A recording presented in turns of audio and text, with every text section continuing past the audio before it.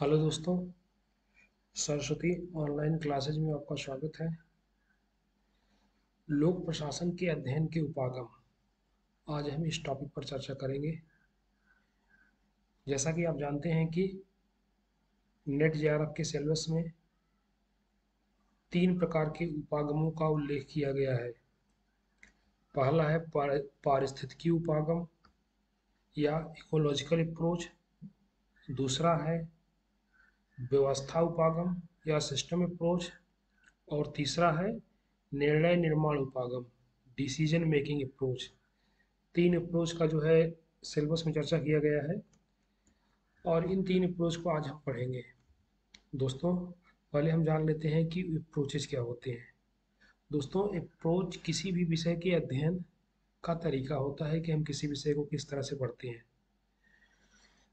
दोस्तों जानते हैं कि आप समझते हैं कि जैसे कि अगर हमको भारतीय संविधान का अध्ययन करना है तो भारतीय संविधान के अध्ययन के के विभिन्न दृष्टिकोण होंगे।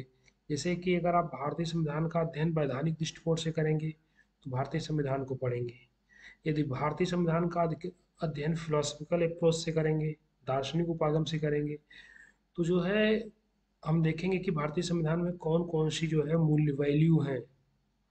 और इसी तरह से अगर हम जो है भारतीय संविधान का अध्ययन इकोलॉजिकल अप्रोच से करेंगे पारिस्थितिकी उपागम से करेंगे तो देखेंगे कि संविधान में कौन कौन से जो संविधान, भारतीय संविधान विभिन्न पारिस्थितिकी में कैसा बिहेव करता है।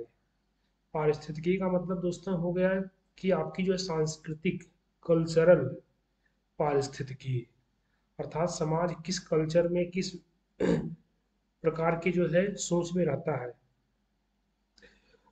तो इस तरह से दोस्तों उपागम किसी भी विषय के अध्ययन का एक तरीका है। किसी भी विषय को कैसे हम देखते हैं तो चीज़ें हैं। लोक प्रशासन के उपागम को तीन भाग, लोक लोक प्रशासन के उपागम को दो भागों में बांटा गया है। एक है परंपरागत उपागम, जिसमें जो है ऐतिहासिक उपागम आते हैं। फिलोसफी ऐतिहासिक उपागम आते हैं, दार्शनिक उपागम आते हैं, वैधानिक उपागम आते हैं, इत्यादि, जिनका उल्लेख हमारे सिलेबस में नहीं किया गया है। उसके बाद कुछ मॉडर्न जो है उपागम आते हैं, जिनको हम पढ़ने जा रहे हैं। दोस्तों, सबसे पहले हम देखेंगे ecological approach of public administration लोक प्रशासन के अध्ययन का जो है पारिस्थितिकी दृष्टिकोण। याद रखिएगा, लोक प्रशासन के अध्ययन का पारिस्थितिकी दृष्टिकोण। इसका तात्पर्य हो गया कि जो प्रशासन होता है, जो प्रशासन है, उसका अध्ययन हम करेंगे कि किसी भी समाज व्यवस्था में, पारिस्थितिकी का मतलब समाज व्यवस्था है। जो लोक प्रशासन है, जो प्रशासनिक व्यवस्था है, प्रत्येक देशों की प्रशासनिक व्यवस्था है, उस, उसका, उस प्रशासनिक व्यवस्था पर वहाँ के समाज का क्या प्रभाव पड़ता है? जैसे भारत में जो प्रशासनिक व्यवस्था है और ब्रिटेन में जो प्रशासनिक व्यवस्था है, लगभग समान है। भारत में जो प्रशासनिक व्यवस्था है और जो ब्रिटेन में प्रशासनिक व्यवस्था है, लगभग समान है। क्योंकि हमने अपनी पारिस्थितिक, अपनी प्रशासनिक व्यवस्था को इंग्लैंड से लिया है। दोस्तों, अब हम यहाँ ये देख इकोलॉजिकल अप्रोच के तहत यहाँ हम ये देखेंगे कि जो है, इंग्लैंड की जो सामाजिक व्यवस्था है, सामाजिक मूल्य है, उसका वहाँ की प्रशासनिक व्यवस्था पर क्या प्रभाव पड़ रहा है? इसी संदर्भ में भारत की जो है, सामाजिक व्यवस्था है, उसका भारत के प्रशासन पर क्या प्रभाव पड़ रहा है? इस एक इकोलॉजिकल अप्रोच में हम यही देखते हैं कि सामाजिक, आर्थिक, सांस्कृतिक व्यवस्थाओं का प्रशासन पर क्या प्रभाव पड़ता है। जैसे कि भारत में जाति व्यवस्था है, धर्म है, इत्यादि का जो है प्रशासन प्रशासन पर प्रभाव पड़ा हुआ है। तो आगे हम देखते हैं दोस्तों कि इकोलॉजिकल अप्रोच इकोलॉजी से लिया गया है इकोलॉजी पारिस्थितिकी से लिया गया है, जो बायोलॉजी से आया है। बायोलॉजी से आया है। इकोलॉजिकल अप्रोच इकोलॉजी इकोलॉजी जो पारिस्थितिकी में होता है, वो बताता है कि विभिन्न जीव, आप जैसा कि जानते हैं कि इकोलॉजी बताता है कि विभिन्न जीवों के मध्य क्या संबंध है। जीव और वहाँ के भौतिक परिस्थितियों के मध्य क्या संबंध है? जीव और वहाँ के वनस्पति, वनस्पतियों के मध्य क्या संबंध है? अर्थात जो है एक इंटरडिपेंडेंस अंतर निर्भरता को व्यक्त करता है। ठीक है? तो यही जो है चीज़ें हम पब्लिक एड में देखेंगे कि पब्लिक एड में समाज व्यवस्था, प्रशासन व्यवस्था, राजनीति व्यवस्था अर्थव्यवस्था ये सब अंतर निर्भर होकर कैसे जो है प्रशासनिक व्यवस्था को एक नया रूप देते हैं। दोस्तों, याद रखिएगा इकोलॉजिकल अप्रोच परंपरागत अप्रोच के आलोचना में आया है। परंपरागत अप्रोच अभी आपने पढ़ा नहीं है।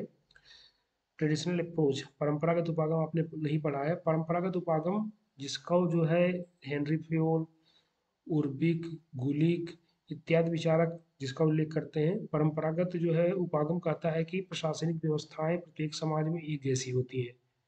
प्रशासनिक व्यवस्थाएँ प्रत्येक समाज में एक नियमों से काम करती हैं, एक तरीकों से काम करती हैं और प्रशासनिक व्यवस्थाएँ सार्वभौमिक है, अर्थात पूरे विश्व में एक प्रकार की प्रशासनिक व्यवस्था, उसका नेचर एक प्रकार की होता है। ये बातें परंपरागत सिद्धांतों में कही गई थी, जिसकी आलोचना इकोलॉजिकल अप्रोच में किया गया है। इकोलॉजिकल अप्रोच कहता है कि कोई भी जो है, प्रशासनिक व्यवस्था में कोई भी सिद्धांत, कोई भी जो नियम सार्वभौमिक नहीं होते हैं। ये परिस्थितियों के अनुरूप होते हैं। याद रखिएगा, ये परिस्थितियों के अनुरूप होते हैं। कहने का मतलब इकोलॉजिकल सिस्टम जो है परंपरागत इकोलॉजिकल अप्रोच जो है, परंपरागत अप्रोच को जो है नकारती है। तो याद रखिएगा, मैंने दो तीन बातें आपको बता दी हैं कि इकोलॉजिकल अप्रोच का मतलब ये है कि जो प्रशासनिक व्यवस्था पर समाज अर्थव्यवस्था, संस्कृति क्या क्या प्रभाव पड़ रहा है? पहली बात, दूसरी बात इकोलॉजिकल अप्रोच जो है, परंपरागत अप्रोच जिसको, जिसका, जिसकी व्याख्या किए हुए हैं।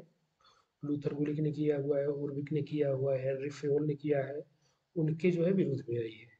ये दो दो बातें याद रखिएगा, हम अब आगे देखते हैं कि इकोलॉजिकल अप्रोच को पब्लिक एडमिनिस्ट्रेशन में प्रारंभ किया है जी एम गौस ने। यहाँ लिखा गया, देख लीजिए आप जे एम गौस ने जो है इसको शुरू किया हुआ है, शुरू किया है पब्लिक एडमिनिस्ट्रेशन में। जो जो न देख रहे हैं, उसको नोट डाउन कर लेंगे कि जे एम घोष ने सबसे पहले इकोलॉजिकल अप्रोच को शुरुआत किया इसके बाद रॉबर्ट डहल ने इसका प्रयोग किया रोस्को मार्टिन ने प्रयोग किया, फिर इसको जो है एफ़ डब्ल्यू रिक्स ने चरम पर पहुँचाया।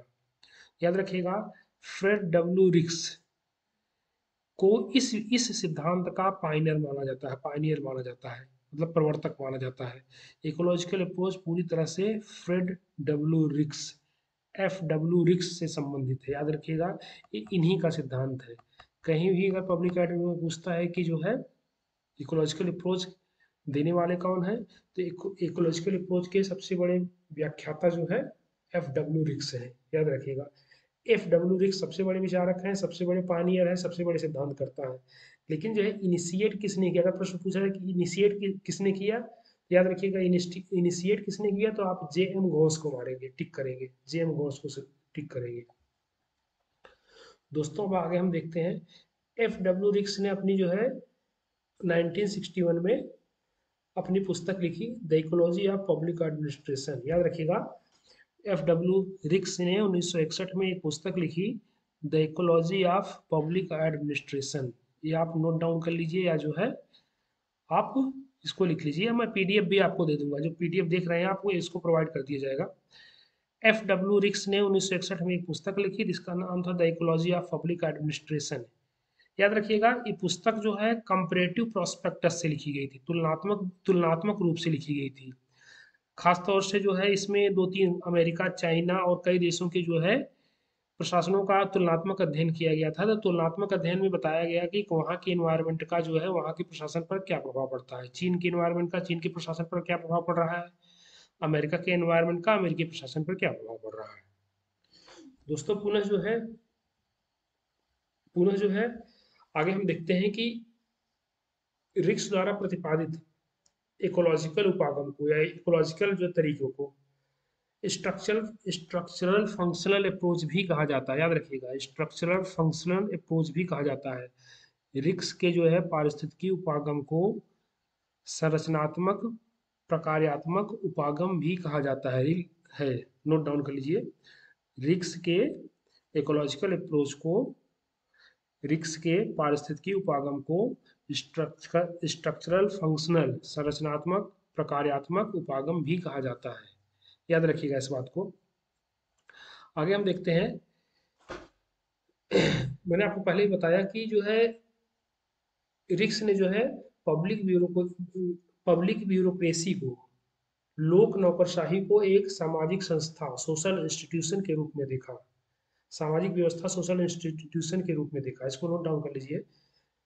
रिक्स ने लोक नौकरशाही को एक सामाजिक व्यवस्था के रूप में देखा सो, सोशल इंस्टीट्यूशन के रूप में देखा एक संगठन के रूप में नहीं बल्कि एक सोशल इंस्टीट्यूशन के रूप में देखा जो मुख्यतः सामाजिक सॉरी जो मुख्यतः आर्थिक राजनीतिक सामाजिक सांस्कृतिक चीज़ों से इंट्रैक्ट प्रभावित होता है। प्रभावित होता है या इफेक्टेड होता है या अंतर्निर्भर होता है।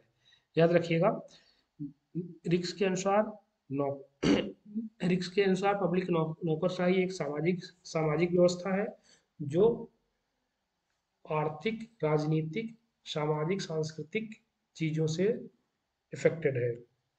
पुनः जो है एफ़ डब्ल्यू रिक्स ने अपने सिद्धांत को याद रखिएगा। मैंने कहा कि एफ़ डब्ल्यू रिक्स ने अपने सिद्धांत को संरचनात्मक प्रकार्यात्मक उपागम कहा है। इन्होंने बताया है कि प्रत्येक सोसाइटी की, याद रखिए, संरचनात्मक, प्रकार्यात्मक उपागम स्ट्रक्चरल फंक्शनल अप्रोच स्ट्रक्चर का मतलब ये हो गया कि नौकरशाही का स्ट्रक्चर कैसा है? स्ट्रक्चर कैसा है? जैसे हम देखते हैं, हमारे नौकरशाही का स्ट्रक्चर कैसा है? सेक्रेटरी चीफ सेक्रेटरी होता है ज्वाइंट सेक्रेटरी होता है, बहुत सारे तो बहुत सारा लंबी हायर की है। तो स्ट्रक्चर होता है, प्रत्येक जो है देश में नौकरशाही का स्ट्रक्चर होता है, चीन में भी नौकरशाही का स्ट्रक्चर है, भारत में भी है और हर जगह में भी है। तो याद रखिएगा स्ट्रक्चर की बात तो करते ही हैं ये। खास तौर से फोकस करते हैं इनके जो है फ़ंक्शन क्या है structural function approach function Riggs ने जो है प्रत्येक नौकरशाही के पाँच प्रकार के फ़ंक्शंस बताए हैं, याद रखिएगा।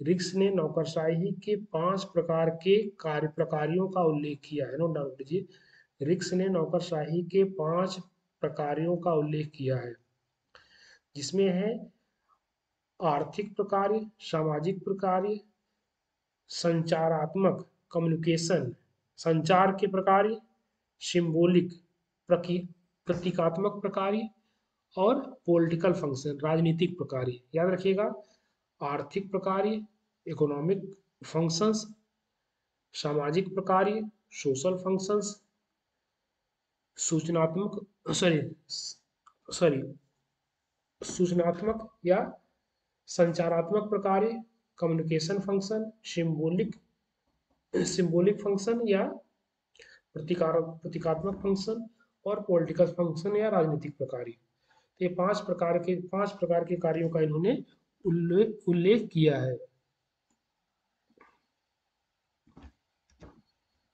पाँच प्रकार के कार्यों का उल्लेख किया हुआ है, जिसको हम देख रहे हैं। ये देख लीजिए।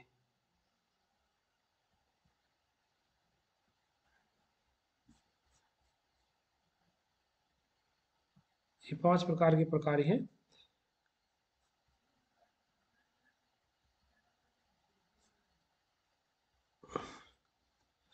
Economic social communication symbolic and political function इसको नोट डाउन कर लीजिएगा आप लोग। पुनः जो है, पुनः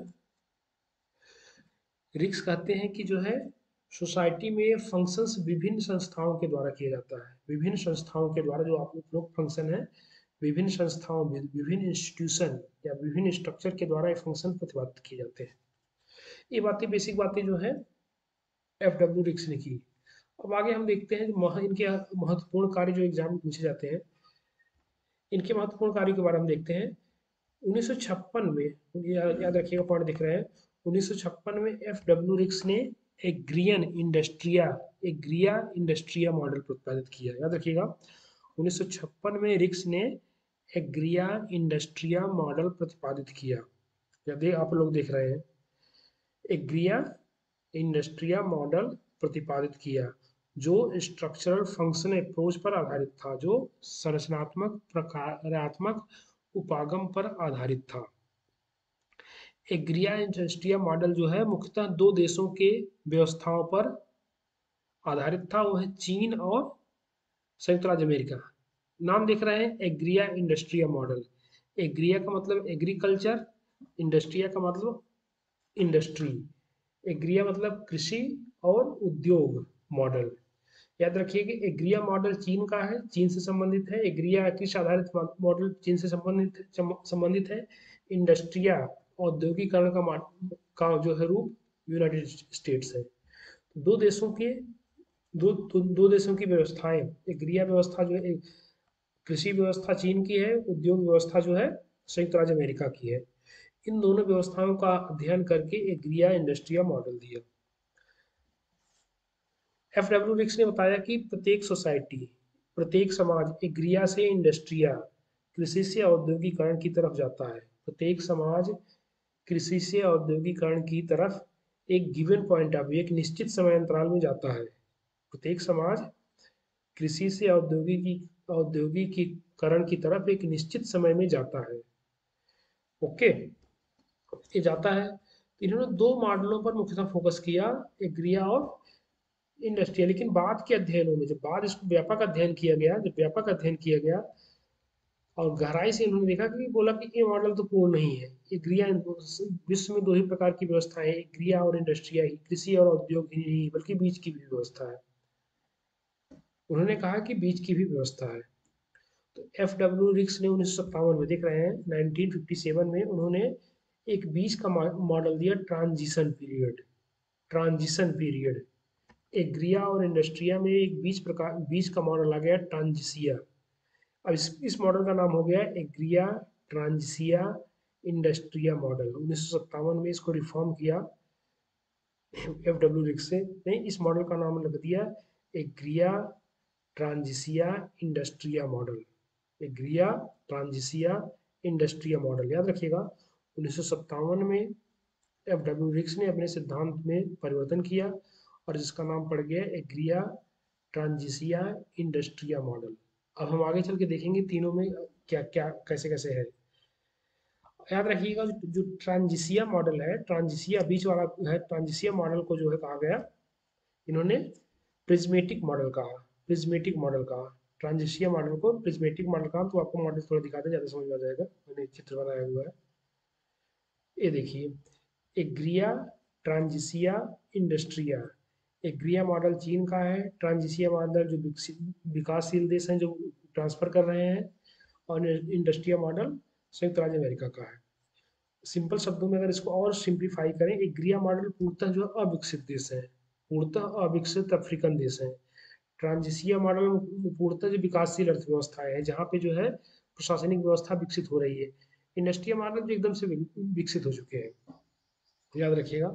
पुनः जो है इसका नाम इन्होंने इसकी जो है, इसमें प्रशासनिक व्यवस्था के स्वरूप को जो है व्यक्त किया। प्रशासनिक व्यवस्था के स्वरूप को व्यक्त करने के लिए जो है, फ्रिक्स ने फ्यूज्ड, प्रिज्मेटिक और डिफ्रेक्टेड मॉडल के रूप में किया। उन्होंने बताया कि जो एग्रिया मॉडल होता है, वो फ्यूज्ड व्यवस्थाएँ वहाँ पे होती है। फ्यूज, फ्यूज्ड, या फ़ंक्शन वहाँ पे फ्यूज्ड होते हैं। याद रखिएगा, जो एग्रियन, जो कृषि व्यवस्थाएँ होती हैं, जो परंपरागत समाज होते हैं, जो परंपरागत जो है अर्थव्यवस्थाएँ होती हैं, वहाँ पे प्रशासनिक व्यवस्था फ्यूज्ड होती है। वहाँ पे प्रशासनिक व्यवस्था फ्यूज्ड होती है। वहाँ पर प्रशासनिक व्यवस्था फ्यूज्ड होती है। इसका मतलब है कि सिंगल स्ट्रक्चर वेरियस फ़ंक्शन होता है। कहने का मतलब है कि एक ही व्यवस्थाएँ सारे कामों को करेगी। एक ही सिंगल स्ट्रक्चर वेरियस फ़ंक्शन करेंगी।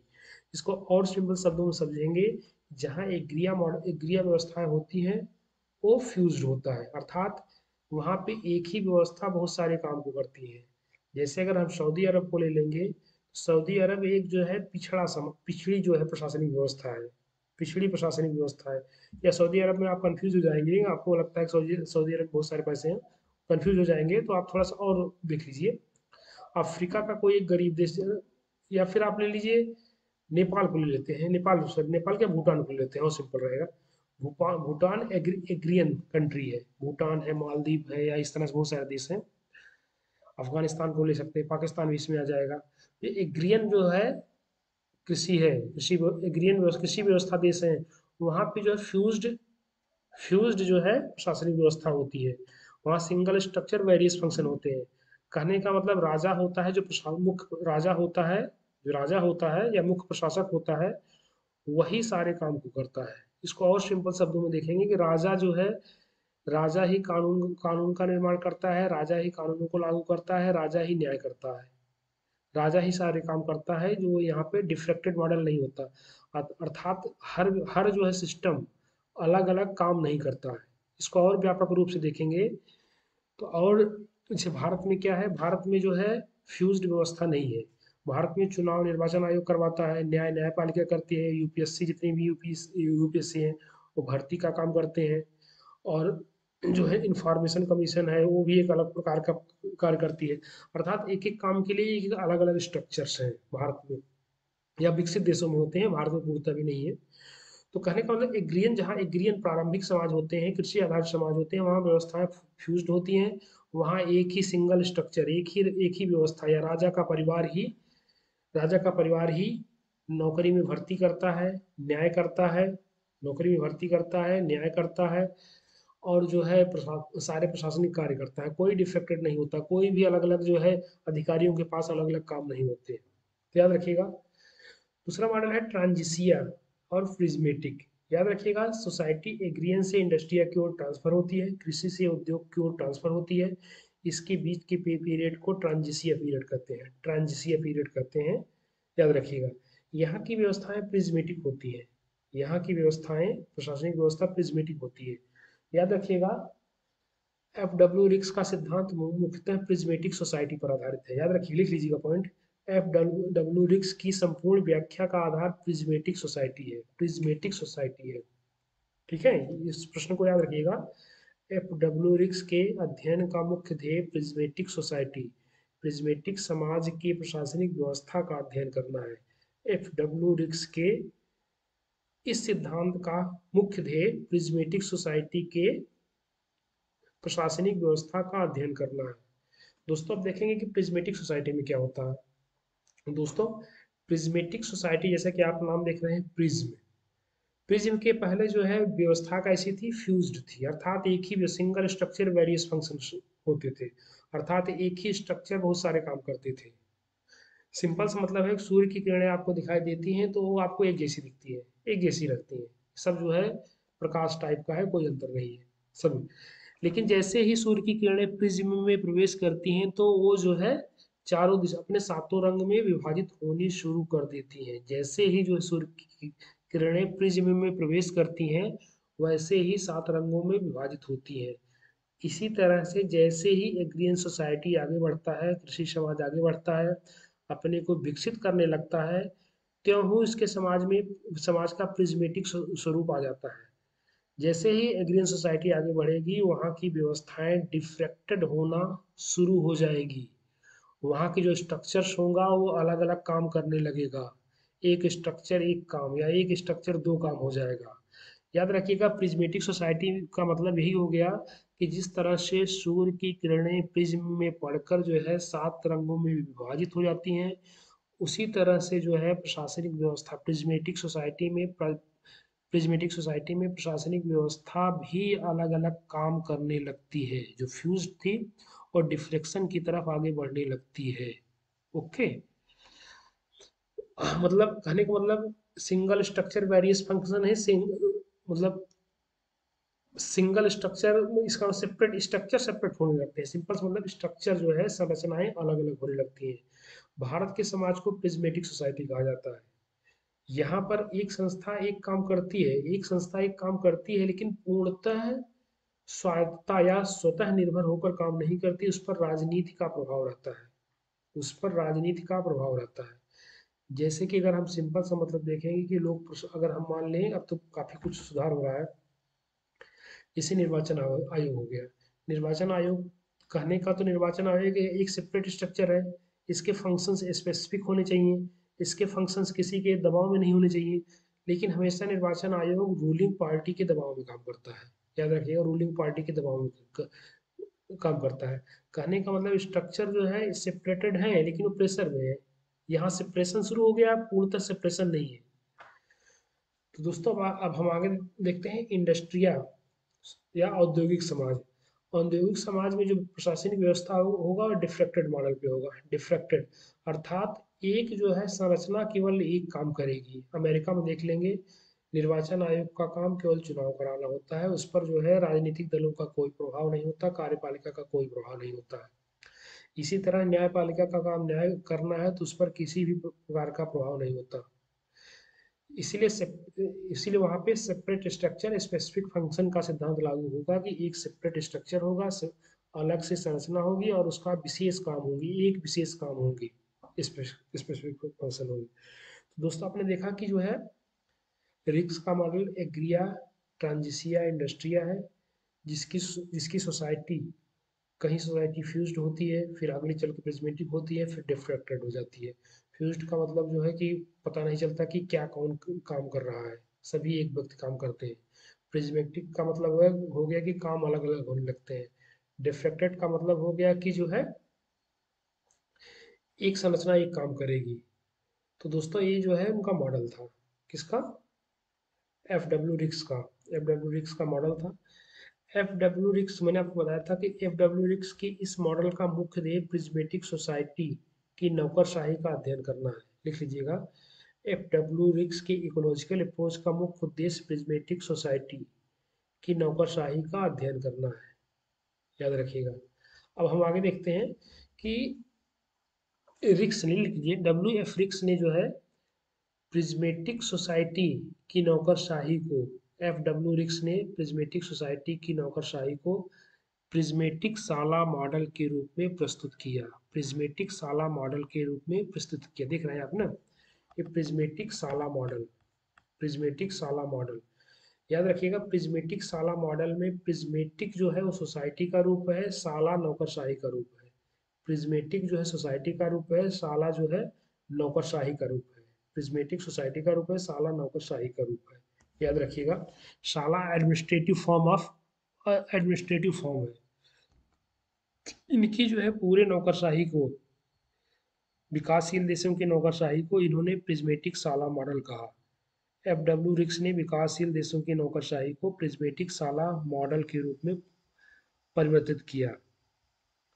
एफ़ डब्ल्यू रिक्स ने प्रिज्मेटिक साला मॉडल को की तीन विशेषताएँ बताई है। एफ़ डब्ल्यू रिक्स ने प्रिज्मेटिक साला मॉडल की तीन विशेषताएँ बताई हैं। तीनों याद कर लीजिएगा, कई बार पूछा गया हेट्रोजेनिसिटी कहने का मतलब विषमता विषमता। दूसरा है फॉर्मलिज्म औपचारिकता।